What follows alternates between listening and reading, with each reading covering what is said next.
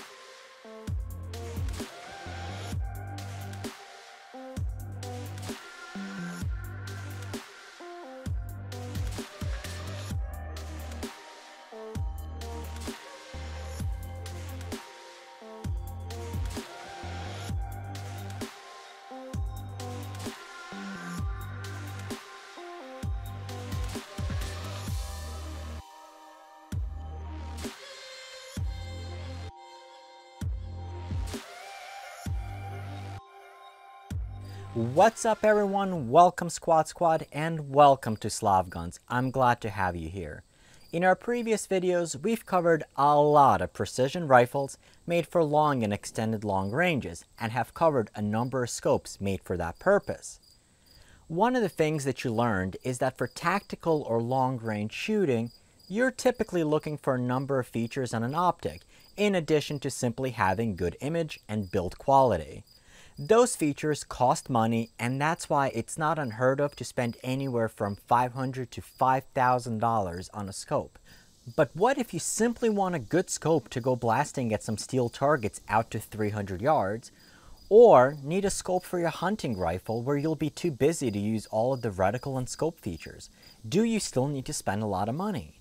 In this video, we're going to explore the Styrka S5 4.5 to 14 rifle scope with the BDC reticle and discuss why it's a great hunting scope and a good scope for those getting into target shooting or want something good for their plinking gun.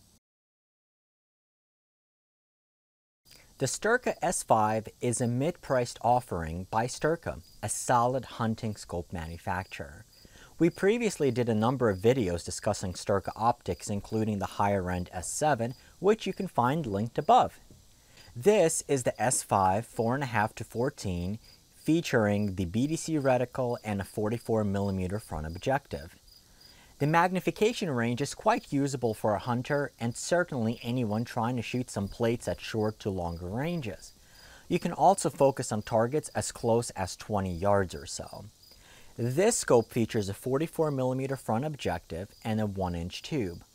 While it may not be the best scope for early morning or late evening shooting, it will allow plenty of light in throughout the shooting day, including right now it's close to about 6 o'clock and this scope has done a great job here. Like the S7, the S5 is considered a hunting scope primarily due to two features. First, the adjustment turrets are not exposed and are covered by these caps. They're meant to be adjusted and zeroed when you mount the scope to the gun. At that point, you would use your scope BDC reticle or the center crosshairs for point blank range. The second reason why it would be considered a hunting scope is the reticle. All of the current Styrka rifle scopes are second focal plane, meaning the reticle size remains constant throughout the magnification range. Many of the tactical or precision rifle scopes are front focal plane, where the reticle size adjusts with the magnification. This allows you to range find using the reticle. Even though it's not a front focal plane optic, it does not mean you cannot do anything with it except use the center crosshairs. Just like the bigger S7, the scope is available with the BDC reticle. The reticle has five additional stadia lines that you would use with the Styrka app, which would give you five more holds for various distances. This makes the S5 a good scope for someone looking at getting into precision shooting, but doesn't want to be overwhelmed by all the adjustments and calculations needed with a tactical or precision shooting scope. What makes it easy to appreciate a scope is having generous eye relief. On this S5, you have 3.5 inches of eye relief, which should prevent you from getting scope bite. Although if you put it on a 22, you better not get scope bite. Adjustment wise, you have 50 MOA worth of internal elevation and windage adjustments, with quarter MOA clicks. This will still let you get out to about 900 yards or so with a 308 with a flat rail and about 1200 yards with a 20 MOA rail. This scope is also IPX67 rated, which means it's waterproof and shockproof and tough enough for most environments. The S5 has an MSRP of around $519 and a street price quite a bit below that. I currently have the scope mounted on the Azimuth 1022 build and I've done a separate video on this gun and its various components linked above. Okay, let's put a few rounds down range and discuss my first impressions and the image quality.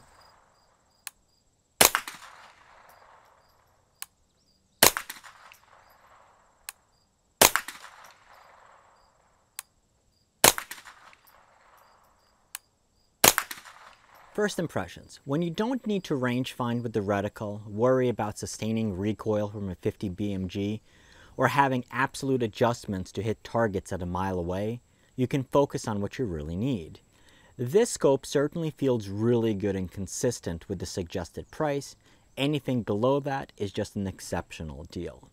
So the parallax and magnification adjustments along with the fast focus eyepiece are smooth and consistent throughout the magnification range.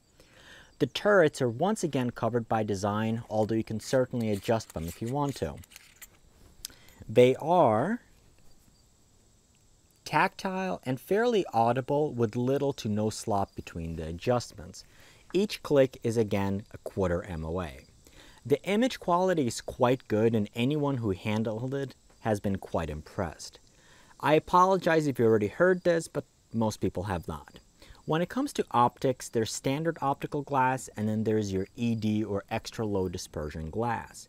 Image quality is a combination of glass plus coatings. More recently, you've had many companies advertise their scopes as HD or high definition, while in reality there are no measurements for that. It's simply a marketing term. While this scope doesn't use ED glass, between the optical glass and the Styrka SXL coatings, the image quality is on par with most HD marketed scopes I've used. The reticle.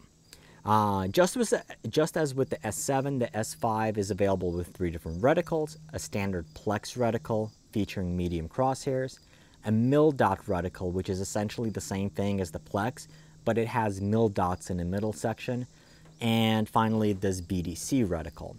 To get the most out of the BDC reticle, I recommend you use the Styrka app or go online and plug it into your gun's plug in your gun's details. This will let you get a reticle printout with precise distances for each of the BDC Stadia lines.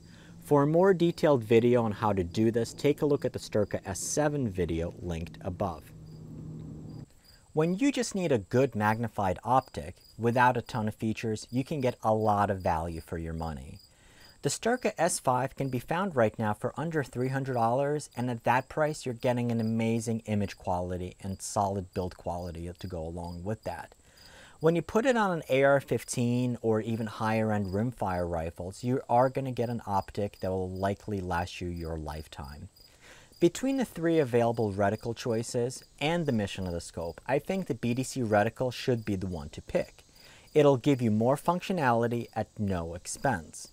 Combined with the Styrka Ballistic app, you're going to be able to squeeze out a ton of functionality and will even be able to use this scope for getting into long range shooting before spending significantly more money on the front focal plane scope. So that's the Styrka S5 4.5 to 14 by 44 rifle scope. I sincerely hope you enjoyed the video and if you did, please make sure you click the like button and share it with your friends. Make sure you're subscribed and have the notification bell on in order to stay up to date on our latest videos on the scope, our precision rifle series, and more. As always, thank you for watching, keep on squatting, and I'll see you next time.